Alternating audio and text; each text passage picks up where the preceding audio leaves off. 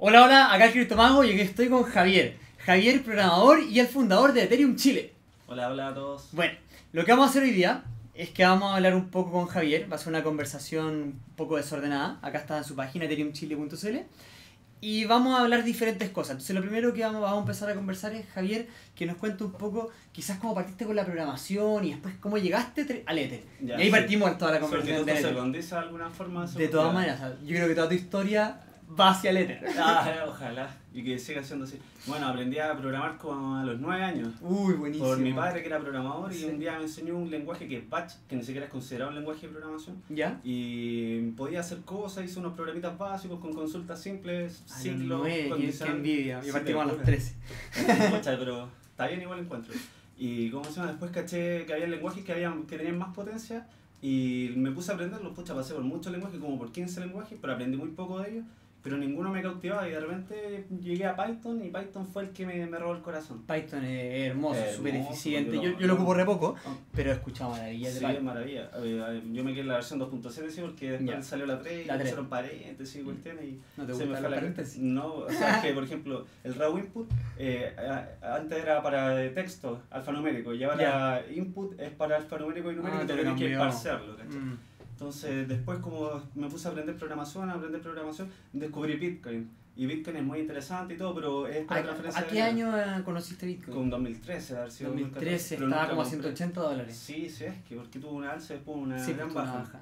Y después caché que en 2015 sale un proyecto en que era relacionado a blockchain y se podía programar más. Entonces Uh. me sedujo mucho. Y me decía estaba a 7 dólares cuando lo conocí, así que me sedujo por dos. Se dejó Y mucho. ahora, claro, Sí, yo- pues uno, uno lo comparaba con Bitcoin y decía, oh, está muy barato. Claro, Sí, o sea, saber a veces mucho lo que la cantidad de monedas que hay. y Pero todo igual eso. sabiendo la tecnología que está detrás de esto, eh, yo aposté más que todo por eso por Ether, porque eh, estaba recién saliendo, no había mucha gente, de hecho no había nadie cuando en 2015 Nadie. porque po. estaba recién Fue el año que salió, sí. Claro, entonces dije yo en mi mente, algo me dice, registra este nombre y, e intenta. Y por acá la cosa. y de repente aquí estamos sentados. Buenísimo. Y ahí, ahí partiste esta página. ¿Qué- Cuéntanos un poco como, ¿qué hace esta página? ¿Qué, qué, qué puedo ver en esta página? ¿Cuáles son las intenciones de esta Sí, página? de hecho, la intención es una buena Sí, idea. eh, bueno, la única intención del sitio es eh, conglomerar eh, gente interesada en el mundo del desarrollo blockchain y no darle un enfoque tanto al Ether como un medio de pago, porque como te decía antes de que empezara Es benzina, de hecho. eh, sí, pues gas. Para mí no es un método de pago. No. Entonces, ¿qué pasa? Que hay muchas casas de cambio y aquí en Chile están haciendo eh, mucha propaganda sobre el Ether y está bien porque tiene muchas facultades sobre el dinero fiat. Pero eh, sirve para cosas mucho más interesantes que pueden generar un impacto más grande que la O transferencia sea, de dinero. el el potencial del, del del Ether al final obviamente está en los smart contracts. Sí, Como tú, totalmente. para tener otra visión, porque yo ya lo he hecho en varios videos, ¿cómo tratarías de definir lo que es un smart contract para los que no saben? Para mí, en, lo personal, y que me costó entenderlo cuando lo entendí, recién pude programar mi primer contrato, es que era una base de datos. Ya, Ya. Está, bien, está bien que es como un contrato legal en que tú dejas cláusulas y todo, pero al final eh, tienes variables que te permiten almacenar contenido y su estado. ¿cachai? Entonces es como crear una tabla con columnas que van a ir manteniendo un, eh, un estado eh, durante, el, eh, durante el proceso en que se ejecute el, el Sí. smart contract, porque no lo puede matar. Pero, pero yo le agregaría de que también es... Porque aparte, efectivamente, es como una base de datos, podríamos Muy decir, grande muy grande rasgo, pero de alguna forma tú puedes crear contratos que te aseguran el cumplimiento de las partes. Y eso al final también eso creo que le agrega mucho valor. Porque Claro. una base de datos inmutable es para el pico igual. O sea, Claro. igual es increíble, pero que aparte puede asegurar el cumplimiento de las partes es muy Eh, interesante. hermoso, yo creo que eso también es lo Sí. que le hace la gracia. Cu- Cuéntanos un poco como, a ver, eh, ¿cuáles fueron los primeros smart contracts que trataste de hacer? Porque yo, por Ah, ejemplo, también sí. traté y hice mil ejemplos Sí. herencia, lado, los dientes, no sé, me puse a inventar Cual- todos los días y sí. sacar lo que sea. Yo hasta la fecha sigo ahí inventando cosas, a ver Me si imagino. un día le doy con el, el, el- el palo del gato, como se dice. Y bueno, la primera práctica el típico votación, eh, Bueno. eh, esta cuestión de poder hacer subasta, de que el dinero vuelva al- a, la, a la persona. Exacto, a la persona que le puso Eh, intentar eh, generar incluso tokens para demostrar autoridad. ¿Cachai? Poder emitir órdenes a un contrato y que ese contrato solamente pueda recibir órdenes de una persona y que haya un Buenísimo. computador que esté solamente recibiendo órdenes de esa persona. ¿cachai? Entonces, Dale. como nosotros podemos asegurar que esa persona está enviando esa instrucción porque nadie puede simular una cuenta. No, Eso es algo bacán de Ethereum también. Eh, hermoso. Porque eh, y las claves privadas son tan privadas y tan difíciles de craquear o lo que sea, de que te podías asegurar 100% de Exacto. que es esa persona. Claro. Y, y como aparte está tu plata metida ahí, nadie se atreve a dárselo a otro, ¿cachai? No es Claro. como, ah, haz login con mi Facebook. Claro, no, pues. Entonces, esas son más o menos las prácticas que he hecho. Ahora, igual con intentando crear entradas para eventos, hacer que podamos transferirnos otro tipo de, de, de contenidos que no son de la misma naturaleza. Sí, pues no sé si la gracia también, al final con Ethereum uno puede tokenizar todo y al final podríamos hacer un token que equivale a una botella de agua. Sí, y te la cambio por tu computador. Sí, pues, sé, por si tuvierais 100 de estos tokens, podríamos cambiarlo por un token computador y Obvio. efectivamente podríamos hacer lo- maravillas. Eh, sí, y tenemos que hacerlas y vamos a empezar a hacerlas. Bueno, Javier también está muy metido en toda la parte de la comunidad, dado que creó esta página. Obviamente al- alrededor de esto se creó una comunidad. Hay un Twitter, como pueden ver. Eh, también hay un canal de Slack que el que yo participo desde hace mucho tiempo porque lo vi y dije, oh, filete. De, aparte que alguien me ganó y hizo Ethereum Chile, ya metí súper tarde. También hizo Slack, buenísimo. Entonces hay que meterse y participar. Y también es el Facebook y el Instagram para que sigan Ethereum Sí, Chile. pues Ethereum Chile. Entonces, la verdad creo toda una comunidad. Y ha ido creciendo, creciendo, creciendo. Si se fijan ahí en Facebook tiene 1347 me gusta. Sí. Y en Slack hay súper hartos participantes. Y la verdad es que hablan de diferentes temas. O sea, hay Claro. de minería, hay de smart contracts. Claro, Y una de las cosas más choras que yo he visto es Proyecto Ethereum. Sí. Cuéntanos un poco de Pero Proyecto Ethereum. eso es una iniciativa de Jonathan Aranea, que tú creo que lo conoces. Sí, pues, un crack, una máquina. Sí, una máquina, un saludo para... Saludo para Jonathan. Porque yo sé que él lo va a ver este episodio. Muy bien. Él es el que creó, él tuvo la iniciativa del proyecto de Ethereum. ¿Por qué? Porque nosotros siempre poníamos eh, votaciones de, pucha, juntémonos, hagamos algo, programemos, porque es la única forma de... Los dedos. Claro, de materializar esto, porque si tenemos toda idea y nadie se junta, eh, no va a pasar nada. Entonces, Eso yo agrego mucho valor a esa palabra, es sí, clave. y La entonces- idea para Encallampa. Sí, porque mientras no la materialicemos. Y bueno, a él se le ocurrió crear este proyecto Ethereum y la gente empezó a entrar por iniciativa propia, porque tampoco fue así como que lo, Sí, pues, lo, no, lo promulgamos en ningún lado. No, fue, fue muy Esta cuestión es el que quiere, orgánico. claro. Entonces, ¿qué pasa? Que eh, estamos ahí organizando eh, eh, por votación y tal la cuestión. Tú también has participado, así que quizás le puedes contar a la gente. Sí, con- participé en la votación. Primero se hizo un listado de ideas y cada uno votó por cuál eh, tincaban más. Y esa se ganó una y ahí se empezaron a juntar. Yo nunca Claro. podido ir a esas reuniones después, las que se han juntado en persona. Pero cuéntanos un poco cómo se han juntado, qué han hecho en Sí, esas reuniones. con el Leo Salgado, que también participa del, del Slack, eh, prestó la oficina y nos juntamos todos ahí a comer unas pizzas, a conversar, a iterar la Buenísimo. idea con Andrés Jung y otros chicos ahí de Consensi. Y la idea es poder desarrollar un proyecto, ir con algo básico, de a poquito, eh, paso a paso. No tenemos mucho apuro tampoco, pero tampoco tan lento. Eh, pues queremos desarrollar proyectos, así que cualquier persona que tenga conocimiento en blockchain o en JavaScript a nivel se, web, se diseño, pueden sumar también, Sí, también favor, diseñadores, por UX favor, UI. sí, lógico, todos, todos y son todo. muy bienvenidos. No hay Y- remuneración, pero van a ser parte del proyecto. Y, así y que- el proyecto que se busca hacer, ¿quieren rentabilizar de alguna forma o hacerlo simplemente descentralizado? Ah, De momento estamos, eso es uno de, los, de las aristas que tenemos que, que conversar primero, porque hay algunos que hicimos una votación, algunos querían hacer el código abierto, otros que sea código cerrado, eh, que haya una, un lucro con esto, otros que simplemente se genere una solución social a un problema que tenemos, que es la Sí, porque las dos son súper válidas, o sea, según el enfoque que uno quiere. Claro, pero como somos todo un equipo tenemos que hacer votación y llegar a un consenso, que de esto va Ethereum. Sí, como una vez fue una charla que decían, anda, esto es blockchain. Onda, en la votación en que entre ustedes lleguen a un consenso y se pongan de acuerdo en qué van a hacer, es como muy blockchain. Claro, Y evidentemente es súper rico eso y es súper bueno. Sí, quizás podríamos hacer un contrato para hacer este tipo de votaciones, para hacerlo más blockchain. De hecho, no sé si viste lo, lo último que, que propuso Vitalik, que era la DAICO, ya, ¿no? que es como una. ICO, pero la diferencia que la ICO, que yo te les paso toda la plata, como te todo me puedo mandar a cambiar, la DAICO no te deja sacar la plata, y la DAICO tiene un sistema de votación para cada uno de los gastos que voy a hacer, y si la comunidad no aprueba mi gasto, Qué no puedo sacar la plata. Eso está, pero. Mind blowing. Sí.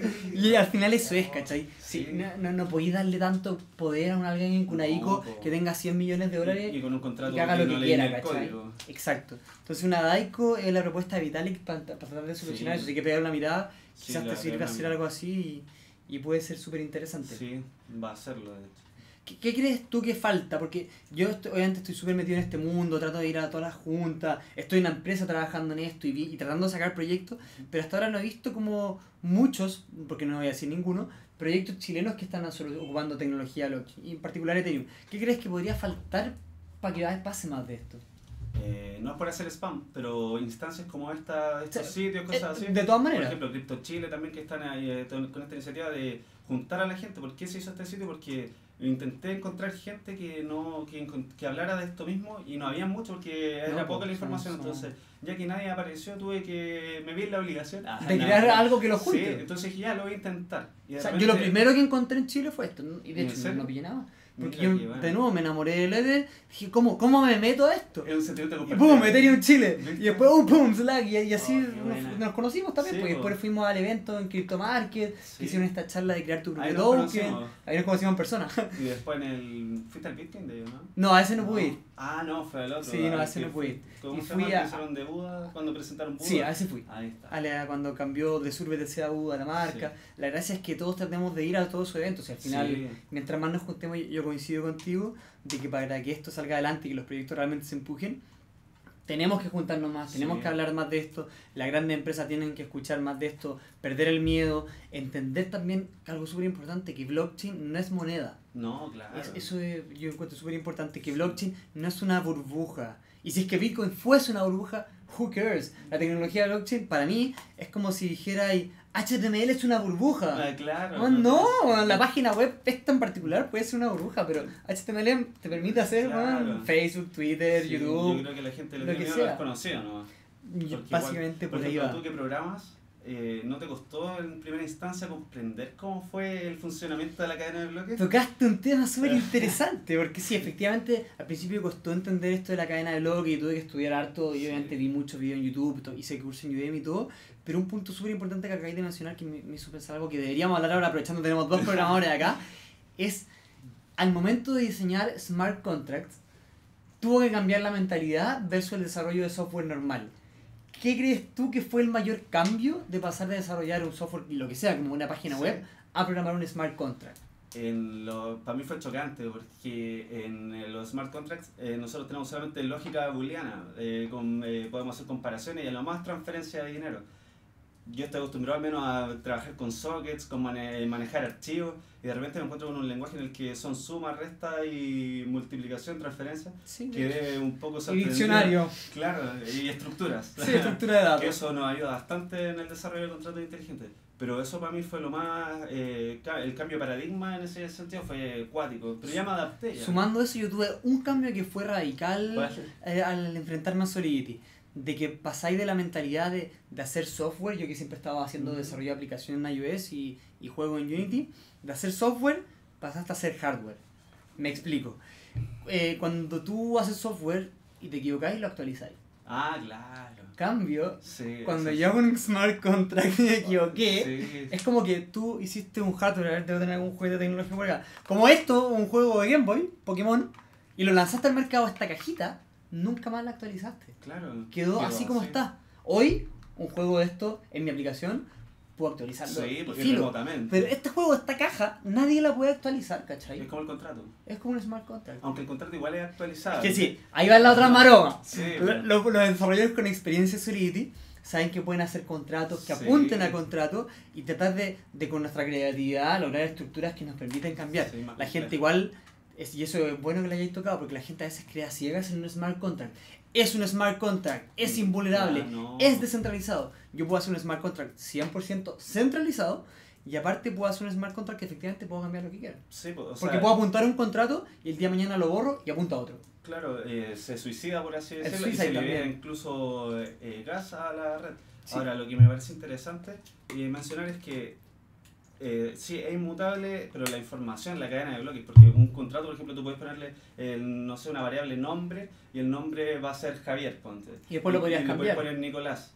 Y si alguien va y consulta el contrato, va a decir Nicolás, pero él puede consultar el... Pero el- exacto, es un súper buen punto. Pero Él puede consultar sí, toda la historia Claro, y saber que es antes era Javier. hasta cierto punto, pero lo que no se puede mutar es la historia. El contenido Eso sí es mutable. eso es Sí. un muy buen punto. A mí me costó... La historia es 100% inmutable y en eso sí que pueden Sí. confiar. Y por eso cuando, no sé, representamos un token, imagínate, este token significa una casa y lo tengo yo y después lo tenés tú, tú. Charán. Ahora la casa es de Javier, ¿cachai? Y podemos ver el historial de que fue mía, pero ahora es de Javier. Claro. Y nadie te va a cuestionar que es de Javier y nadie va a cuestionar que fue mía. Exacto. Porque el historial no Y pudo se ser sabe cuándo fue, quién lo hizo, a qué hora. Eso es lo hermoso de toda esta tecnología. Eso es lo hermoso, sí. Pero es mutable. Solamente que el historial no es inmutable. El Sí. contrato sí es mutable. Y, y que sea algo en Ethereum y un smart contract no quiere decir que sea descentralizado No, necesariamente. para nada. Para Podemos nada. hacer nuestra propia red privada en Ethereum. Pueden encontrar un tutorial ahí en la página también. Sí. De hecho, justo to- bueno, to- calza todo perfecto. Tocaste justo el último punto que yo quería como para cerrar, que, que me parece súper interesante. Ah, en todo caso, podemos seguir. Que, que un punto importante que muchos me preguntan, ya sea por Facebook y por, y por YouTube, es cómo aprender. Onda, yo quiero aprender Solidity, ¿qué hago? Y yo a veces los trato de dirigir a los tutoriales que yo tengo en YouTube. Claro. Acá en esta página hay algunos tutoriales. Hoy día te hacer un tutorial filete de Crypto Sí, Zombies. Les voy a dejar el link io. en la descripción porque es Filete, espectacular para ese juego. Pero imagínate a alguien, porque hay, imaginémonos dos caminos de perfil. Imaginemos el perfil de que, que me llegan los dos.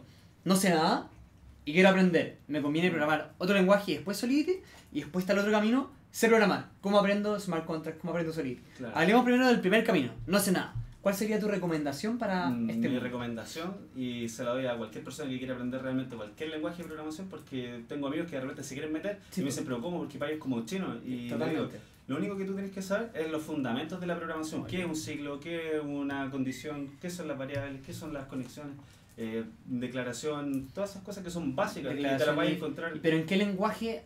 Porque para practicar eso necesitaría un lenguaje. ¿Qué Sí. lenguaje recomendarías? yo personalmente recomiendo Python ¿por qué Python? porque es como hablarle al computador en inglés Es amigable, sí. Sí, es muy amigable Sí, muy y para hacer grandes cosas no necesita de una gran extensión de código. Pero básicamente es saber los fundamentos de la programación porque eso te va a ayudar a aprender no solo Solidity. JavaScript, Java, C, C. Sharp. Ahora, si quieres aprender ensamblador, ahí métete por otro lado porque No, no, eso no, se no se quieren de- meter ahí. escapa de toda No se quieren meter ahí. Entonces eso, después cuando ya te manejes con lo que es un if, un for, un while, Sí, la, y la- variables bool, Claro. string, Los que es un diccionario, datos, claro. que existe el mapping en Solidity, que no es lo mismo, pero, pero es pero parecido. hermoso. Bueno, ahí. pero eso yo creo que es lo principal para mí, Ya. el fundamento. Y para el que sabe programar, lleva años programando en cualquier lenguaje, porque sabemos que son bastante parecidos, ¿cuál sería tu recomendación? ¿Cuáles serían los pasos a seguir para aprender Solidity y meterse a los smart contracts? Oye, eso es una pregunta complicada. Es complicada, obvio. Sí, y tú ya pasaste por Sí, eso porque también. también- pasé, y yo creo que muchos de los que ver este video pasaron por eso y están pasando por eso. Personalmente busqué mucha información y no encontraba nada porque como no hay nada muy concreto, ¿cachai? Entonces, Aparte entraste hace tiempo, que me- Sí. hoy hay más, pero cuando Hoy hay mucho más, No hay nada. entonces, ¿qué pasa? Que me puse a buscar en internet y no, no hay mucho de cómo hacer un contrato, cómo compilarlo, porque claro, podía encontrar la documentación de Solidity y eso se lo recomiendo encarecidamente. Métanse a solidity.reactdocs.io creo que es. Y si no, la página de Ethereum y ahí pongan... Sí, y está toda la documentación de Solidity con todas sus funciones, métodos, invoca, cómo invocar todo, ¿cachai? Pero no te explican cómo eh, compilar este contrato, ¿cachai?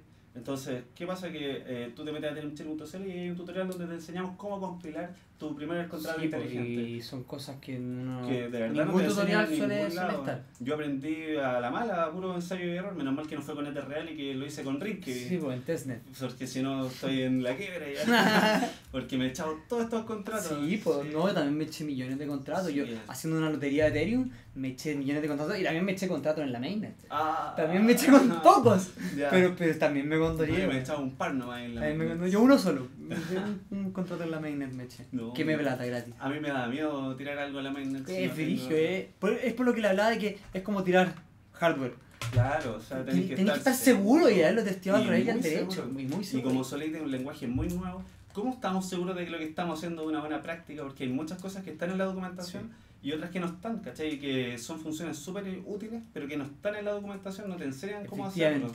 Entonces, la recomendación sería tener cuidado, primero Rinkey, y ahora creo que salió una aplicación, no recuerdo el nombre, que te hace unit test a tus contratos Ah, inteligentes. buena, sí. Creo que encontraron como 34.000 contratos inteligentes o más, eh, o millones de contratos con 34.000 vulnerabilidades distintas. Una. No recuerdo Sí, cuál no, tampoco pero- pero he escuchado cosas de ese estilo y, y es buenísimo. ¿Y ahí, tenía algún tutorial en particular que hayáis visto que te haya servido? No, mira, No, yo, realmente yo no tampoco, recuerdo, aparte del Crypto Zombies, no Sí, o sea, yo creo que he visto tutoriales, pero así como recordar la URL en este momento, no, ahora te lo podría dejar eh, después. De ahí vemos, a y si es que pillamos, vamos a Claro, dejarlo en la biografía. abajo, obviamente. Bibliografía. Y para mí una de las cosas que también me sirvió mucho aprender esto fue, bueno, fueron dos cosas. Uno, el hecho de que yo haya hecho el canal de YouTube fue para autopresionarme también. Y, y partí mucho con ejemplos de smart contracts y hacer y Sí, hacer. Y eso. me presionaba a mí para que todos los días pensaba, ¿qué otra idea puedo hacer de un smart contract? Sí, pues. Y después hacerlo, pues, no solo la idea. Y sentarme ya, ¿cómo hago un contrato de herencia? Ya, ¿cómo hago la hada de los dientes? Ya, ¿cómo hago un sistema de pago de sueldo que te descuente no sé qué? Ya, ¿cómo hago un evento? Porque también hice un ticket. ¿Cómo hago tickets de evento? ¿O ¿Cómo hago un token del show de magia del mago Nicolás? ¿Cómo hago? Y así, el pensarme cómo lo hago y después sentarme y hacerlo, me sirvió mucho a soltarme Sí, las manos y empezar a manos al hacerlo. barro. Estoy lejos de considerarme un experto en Solidity. No. Pero, pero he logrado soltar las manos y ya, ya me Sí. puedo defender y, y he aprendido bastante. O sea, Sí, y tú también, pues sí, hemos visto por- un por par de Java, contratos y Y sí, es buenísimo. Es que JavaScript yo creo que el que forjó la personalidad Solidity que, que tengo yo al menos, porque Sí, po. es muy parecido. Es muy parecido. Si hay programadores que estén viendo esto y programan en JavaScript, van a agarrar Solidity, o si programaron en C, o incluso en Go, Golang, eh, tiene muchas También, similitudes, sí. entonces yo creo que les va a ser muy fácil. O yo otro tip para los programadores. Hay muchos, muchos que preguntan en este canal cómo, cómo pasarlo al final a la web. Que yo, todo mi ejemplo de Smart Contract de hacerlo y lo hago en Mist o en Ethereum Ah. Wallet o en Remix. Y lo hago nomás y ahí pruebo todas las funciones. Claro. Pero nunca lo conecto con una página. Acá este compadre puede sabe hacerlo, así que pregúntele, métase a su página, ahí uno los ejemplos, tal como tú Sí. dijiste, de lanzar ese contrato y al final eso es lo que les falta a todos cuando solo ven los ejemplos de Smart Contract de Solidity Sí. y son los que aman Solidity. Al final falta la parte que tú dices que es súper importante. Ya, lancemos la esto interfaz. y usémoslo. Y usémoslo en una página web, usémoslo en una aplicación. Aunque no tenga ninguna utilidad Eh, real, pero Exacto, hay que hacer ese proceso. Sí, para que la gente entienda cómo Sí. está funcionando. Y lo que les voy a recomendar es que se metan a remix.ethereum.org y ahí tienen un compilador de súper bueno, muy bueno. Al principio cuando lo conocí estábamos con la 4.10 Era terrible. y era fea la cuestión, pues de hecho ahora después me metí y tuve que volver a aprender a usarlo porque Sí, me cambiaron todo de Me lado. pasó lo mismo. Sí. Me cambiaron todo de Igual- Igual hay gente que está usando Embark para, para programar sus contratos, que es como una arpa... Nunca lo he usado. No es como un entorno de trabajo que te monta una testnet con Ether y toda la cuestión. Perfecto. Buenísimo. Sí, es Eh, hermoso este mundo. ¿Algo más que decir, Javier? No dejarlo por décima invitado a participar de la comunidad. Sí, muy importante. Aquí el maestro está participando, así que si él lo está haciendo es por algo. ¿no? sí, no, de todas maneras, o sea, Sí. para mí todo lo que, sobre todo hay muchos interesados en esto y, mi- y todos los que están interesados de verdad, para que sea más que de la boca para afuera, tienen que participar. Sí, Tienen que sumarse a las actividades de Ethereum, de Ethereum Chile, de Kawin que están haciendo Claro. el gremio de Chile, de ir a los eventos, ir al Blockchain Summit Latam, Sí, ir a todo. Sí, por favor vayan a todas esas cosas, no por lo lucrativo ni nada, Sí, sino no. que porque van a pagar. Tenemos 15 que lucas, movernos. Pero 15 lucas por algo que les va a dejar un aprendizaje real, ¿cachai? O sea, Y un contacto con muchas personas sí, como nosotros networking. que están metidos en esto. Sí. Y al final nosotros tenemos que conocernos para poder hacer cosas. Los cambios del mañana dependen de nosotros. Efectivamente. Y lo otro, que ¿qué era lo que te iba a decir? Se me olvidó, ya viste donde te dije otra cuestión. Bueno, cosas que pasan. Ahí los dejamos más que invitados. Que estén muy bien. Muchas, gracias, por la Javier. Chao, que estén muy bien. Un gusto. Gracias. Muy bien. Chao. Chao.